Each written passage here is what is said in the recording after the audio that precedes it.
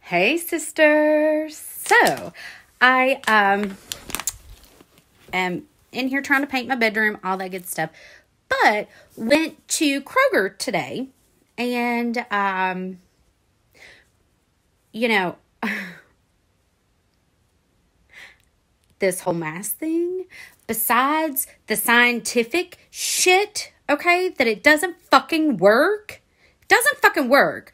Let's not forget that you know, I have been working hard for the last three years, like really put in the work to heal myself from the sexual trauma of my rape, like to heal myself.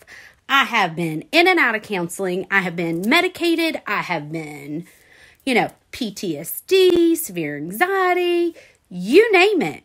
Like, worked hard to come off the medicine to to focus on me. So, because I have severe anxiety, because I have PTSD, I am medically exempt from wearing it. And you know what? Every time I put one on, I start fucking hyperventilating. And you know what? I've spent the last fucking 10 years walking through hell. Literally walking through fucking hell.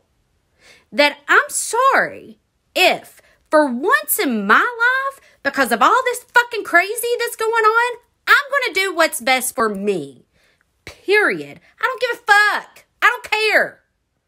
Nobody's had to walk in my shoes. Nobody's had to, you know, deal with the fucking bullshit that I have to try to heal myself, to be able to live a normal life because I felt like so much was taken from me and like I'd never had. And this whole media fucking bullshit about do it for others, fuck you. You know what I'm saying?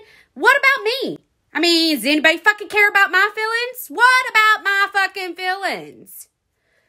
I'm saying this to get to my point. This woman walks up to me and says, To tell you, you need to uh, put a mask on.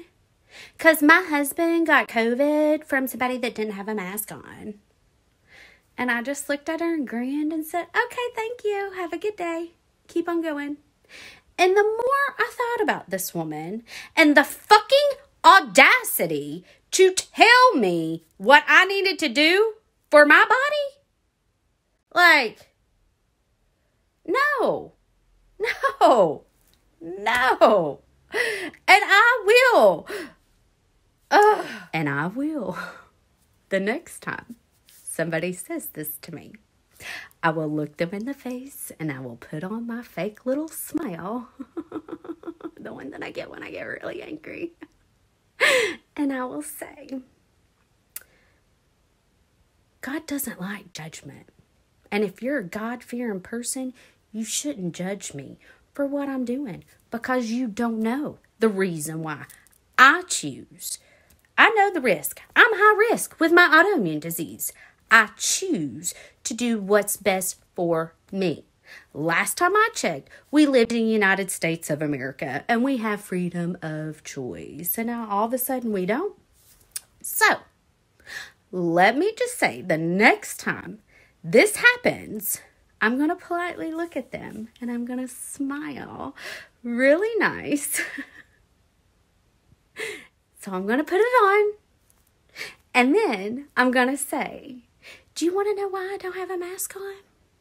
Because I was drugged and raped in my sleep, and I have PTSD and I have an anxiety. So, uh, excuse me.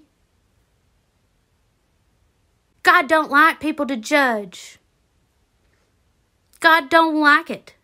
And if you don't like the fact that I ain't got a mask on, you need to keep it to yourself.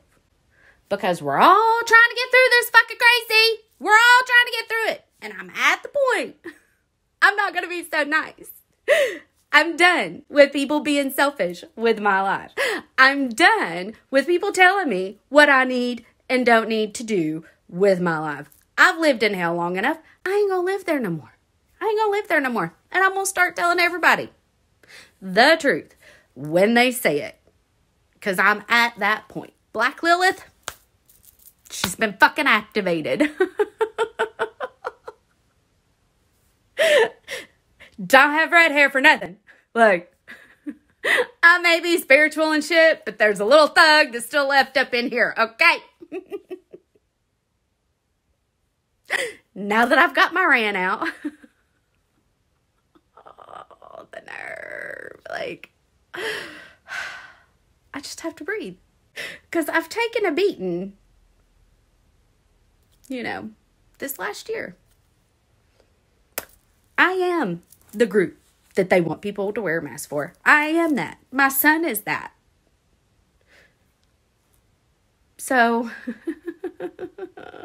people better get it. Love ya.